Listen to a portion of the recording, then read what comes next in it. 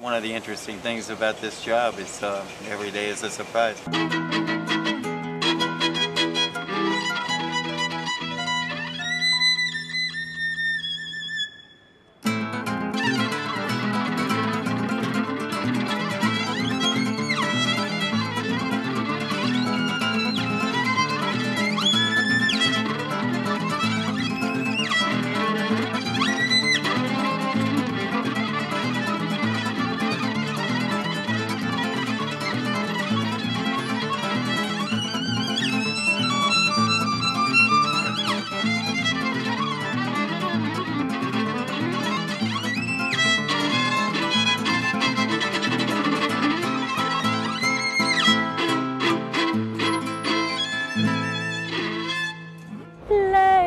for change.